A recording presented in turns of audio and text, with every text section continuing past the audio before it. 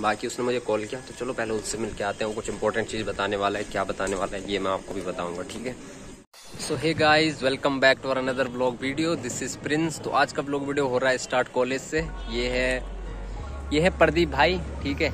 ये यहाँ यहाँ से ग्रेजुएशन कर रहे हैं और ये है राधे श्याम तो ये मैं आप लोगों को इनको पहले भी मिला चुका हूँ। ठीक है गाइस तो अभी कॉलेज से स्टार्ट हो रहा है ब्लॉग क्योंकि मैं अकेला था रूम पे तो इन राधे का कॉल आया मुझे कि कॉलेज आया तो मैं कॉलेज आ गया था। चलो बाकी आगे की प्रक्रिया करते हैं शुरू।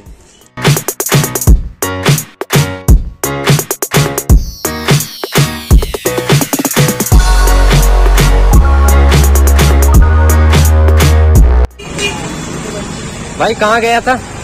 कहाँ गया था? अपनी सखी के पास गया था। क्यों? हैं? अरे यार फ़ाइल डिग्री बनाने के लिए। हाँ। समय कम था मेरे पास। हाँ। तो उन्होंने बना दी। पूरा कृष्ण का नैया हो रहा है। क्या कहें माया चलो सही है।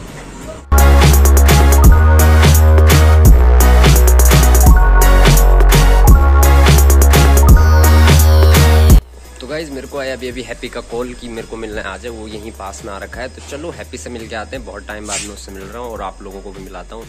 बाकी उसने मुझे कॉल किया तो चलो पहले उससे मिल के आते हैं कुछ इंपॉर्टेंट चीज़ बताने वाला है, क्या बताने वाला है, ये मैं आपको भी बताऊँगा, ठीक है?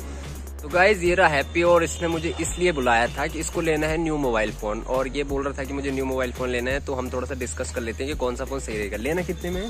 यार भाई, सोच तो रहा हूँ। बीस पच्चीस के बीच लूँगा इससे ज़्यादा महँगा नहीं है भाई बजट बजट बहुत सही है। बीस पच्चीस बहुत ज़्यादा होता है क्योंकि मैं खुद दस हज़ार का फ़ोन चला रहा हूँ। तो गाइज़ मतलब अगर आपको वो फ़ोन लेना है ना तो मैं इसको ये सजेस्ट करूँगा पर्सनली कि अगर बीस पच्चीस तू कर रहा है ना तो मतलब कि बीस पच्चीस में तो नहीं आएगा, लेकिन अगर पाँच दस हज़ार और उसमें ऐड करेगा ब्रदर तो तेरे को आईफोन एक्स मिल जाएगा, क्योंकि फ़ोटो शूट के लिए ब्लॉगिंग के लिए सबसे बेस्ट आईफोन एक्स रहता है, क्योंकि मैं उसको इसलिए देखता हूँ, मैं खुद एक ब्लॉगर हूँ, ठीक है? बाकी मतलब अगर तुझे गेमिंग के लिए लेना है, वैसे गेम ही खेलता नहीं है, पढ़ने लिखने वाला लड़का है, बहुत ज़्यादा पढ़ाई कर रहा है भाई, सच बता रहा हूँ, ठीक है? तो मतलब अगर तुझे वही लेना है फ़ोन तो तू ले लियो अपने हिसाब से। वैसे मेरा सजेशन ये है कि आईफोन एक्सर सबसे बेस्ट है।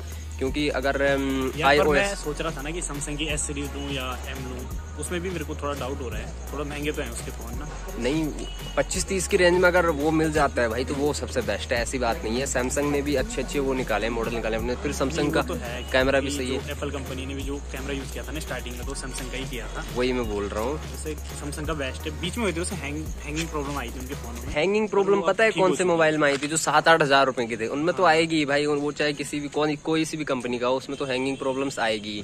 क्योंकि अब हम मतलब यार फ़ोटो ऑडियंस से पूछेंगे कौन हाँ, सा सही रहेगा? ठीक है आप लोग ज़रूर बता देना कमेंट बॉक्स में। किया हो? हाँ आपने यूज़ किया हो एक्सपीरियंस होगा। तो आप लोग वो ज़रूर बता देना हमें कि हम हैप्पी के लिए कौन सा फ़ोन सही रहेगा क्योंकि इसको अच्छा फ़ोन दिलाएँगे ठीक है? बाकी देख लियो अपने हिसाब से।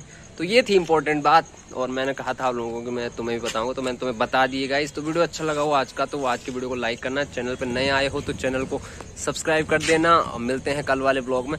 तो अभी नाइट टाइम है डीए भी आए हुए थे हम हैप्पी को मिलने और अब रूम पे जाएँगे खाना वाना खाएँगे फिर सो जाएँगे तो चुनाव वाला माहौल है तो पुलिस वाले भी अंदर ही है। चुनाव वाला माहौल है पुलिस वाले पीछे बैकग्राउंड में ये जो लाइटें दिख रही है यहाँ पुलिस वाले रह रहे हैं अभी ठीक है?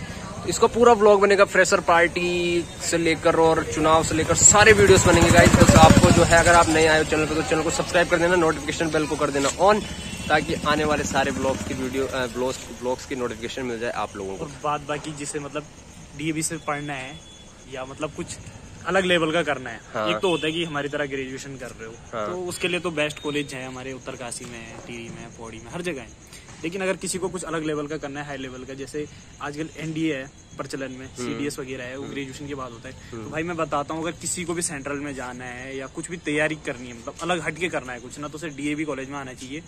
यहाँ से तुम्हारी हर चीज़ की तैयारी हो जाती है। कॉलेज भी चलता है साथ साथ में रेगुलर में होता है हाँ, एक्स्ट्रा और, और भी चीज़ें ऊपर से तुम अपनी पढ़ाई कर सकते हो अलग से। तो हमसे होता है कि नहीं होता है अलग बात है। अगर कोई कर सकता है तो कर ले। बिल्कुल।